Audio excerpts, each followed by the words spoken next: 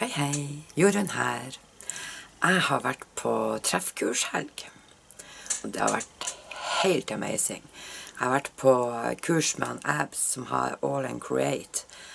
Og jeg har shoppa masse. Fordi at det er sånn når du er på kurs, så eh, ser du hva han bruker, og ser hvordan han bygger opp ting med de stemplene, så har du jo fryktelig lyst på de, for du ser hvor kult han jobber med de. Så jeg tenkte jeg skulle vise dere litt hva som ble med meg hjem fra denne helga som jeg hadde i Egersund. Det er verdens beste treff. Du ligger på hotell, du spiser utrolig god mat. Jeg mener Åh, sier jeg bare. Du trenger ikke å tenke på mat, du trenger ikke å tenke på noen ting som helst. Du bare kommer til dekka bord, du trenger ikke å vaske noe. Ingenting. Det eneste du trenger å vaske, det er fingrene dine. jeg har vært på ei Mix Media-kurshelg, så det tenkte jeg skulle vise deg litt grann, uh, hva jeg har begynt på. For vi har lært utrolig masse teknikker, men jeg har ikke blitt uh, ferdig. Så det skal jeg kose meg med når jeg er ferdig med julemessa. Så da skal jeg bare snu kameraet, da. Så skal du få se hva jeg har tatt med meg hjem. Jeg har selvfølgelig tatt med meg Dots. Men så kommer vi til goodiesen. Se den kuleste. Her er en stensil.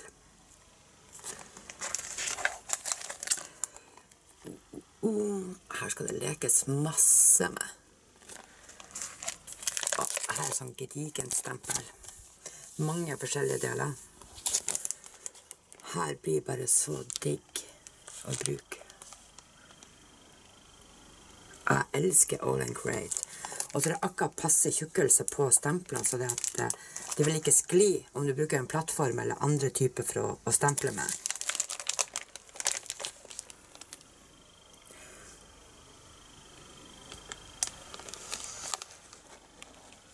Så her er så gult. Her er jeg delt opp i to. Så her, Du trenger ikke å bruke alt. Hvis du bare vil bruke mine, så gjør du jo det. Og hvis du vil ha de, de uh, ordene som går nedover her, så er det jo uh, father, son, uh, uncle, husband, boyfriend. Så trenger du liksom ikke å bruke begge deler. Samme her. Om du bare har lyst til å bruke den, så gjør du jo det. Klipper du bare rundt etterpå. Eller la være å ha ink på det andre. Så vi har jo lært så mye forskjellige teknikker på hvordan man kan fremheve et stempel. Eh, hvordan man bygger lag noen plasser for at det skal liksom poppe. Så jeg sier det bare. Oh, oh, oh. Her er stensil. Og den her er bare så lekker. Å bruke den her på gellyplate er jo bare magisk. Og den her. Godt brukt i helga. Og her, ja. Å, det er så masse eh, fantastiske elementer. Du har huset, liksom, med trapp og fugler og egg og litt blomster eller blader og Nei, vet du, det er så masse detaljer. Så det er sånn Å, på den og på det her? Å, gud. Og her. Masse herlig stempel. Something's falling can be new. Så når vi bommer eller vi detter, så skjer det noe nytt. Det er bare så vakkert. Her ble en av mine største favoritter. Fordi det som står liksom inni de her stemplene òg Og det øyet der Oh my lord. Og Altså fingeravtrykk. Og det her. Her er også, Det er så mange elementer. Du trenger jo ikke bruke alt på ett. Du kan velge bare bruke akkurat her, eller bare her, eller bare der. Så det er jo helt fantastisk. Og så er det jo nå oppi her, så du ser det er jo det er jo flere elementer. Det er ett sånn hoved, og så er det mange elementer. Så, men eh, det er helt magi. Litt flere stensiler. Her er også en av mine favoritter. Det er bare så fantastisk. Her òg. Og det var jo så vanskelig å ikke bare kjøpe med seg hele butikken. I hvert fall med de her stemplene og stensilene. Og den her fikk vi faktisk av en Ab sjøl. Det er jo han som har All in Create.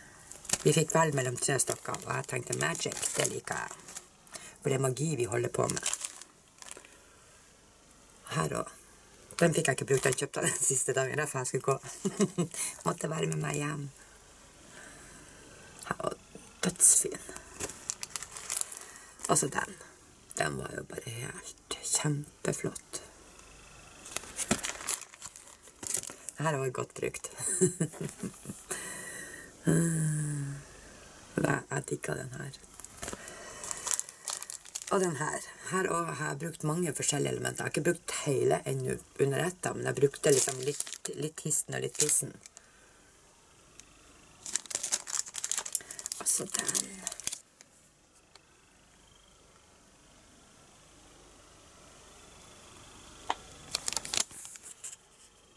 Hello magic. Believe in magic.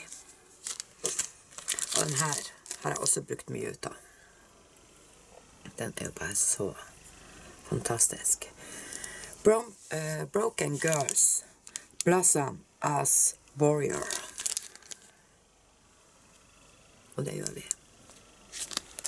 Vi blir noen skikkelige fightere. Og den her, den måtte bare være med meg hjem. Og, jeg, og det verste er at når, jeg, når jeg kjøper sånne her, så popper det liksom opp i hodet mitt. Å, det har jeg lyst til å lage, det har jeg lyst til å lage, og det har jeg lyst til å lage. Så kjøpte jeg et hus, og jeg bestilte bestilt to andre hus. For der lærte jeg en ny teknikk som jeg syntes var litt kul. Skulle liksom lage scener. Og her òg. Masse forskjellige ting. Så da tenkte jeg skulle vise dere bitte litt. Og må huske at ingenting utover her er ferdig. Så, men det skal bli ferdig. Her eh, så har vi faktisk stempla med Distress eh, Oxid. med stempel. Eh, og hvordan vi vanner ut liksom når vi tar på eh, Distress på stemplene, da. Så har vi vann på. Og her så skal det bygges opp. Eh, enten med tre forskjellige nye elementer, eller ikke forskjellige, men med de her. Og så fargelegger jeg det, sånn at det popper, liksom. Så det var veldig kult. Og her har jeg begynt med fargelegginga. Som skal oppå ansiktet hans, da. Den her syns jeg var veldig kul. Her er jo heller ikke ferdig. Og her òg så har jeg stempla Jeg har stempla øyet, huset og den, og så de der to som skal poppe, og så den. Sånn at det blir sånn pff, Øyet søker dit. Så det var veldig, veldig, veldig kjekt. Så her ser dere har stempla. Og her er de andre husene jeg har eh, bestilt. Og her lagde vi en by. Så her òg Jeg fikk jo, ble jo ikke sjanse til å bli ferdig. Og du ser her, det er jo det kuleste toget. Så jeg fant ut at den gikk sånn litt i nedoverbakke der. Her har vi stempla med stensiler. Det er også kjempekult. Så jeg gleder meg til å begynne å fargelegge litt inni her. Og så få litt svakere farger bak og litt himmel og sånt. Og her òg har jeg begynt på noen elementer som skal klippes ut da, og så poppes. Og sammen med øyet. Og så hodeskallen. Og så er det ei, eh, ei lita minibok som jeg begynte på. Og her så begynte vi å stemple først med stensiler før vi gikk over med andre eh, stempler i svart. Så det var jo litt kult, da, så jeg begynte å fargelegge litt. Så hvis jeg drar hele ut, så blir det liksom sånn, da, men jeg tenker vi tar to og to. Så her er jeg jo ikke ferdig. Det er masse flere elementer som skal være med. Men det er det som er litt morsomt når du gjør sånn her, det at jeg sørger for å ta bilder ut av Hanne, sånn at jeg ikke glemmer noen elementer. Men det var mye arbeid, liksom. eh, Mange steg og mye venting på tørk.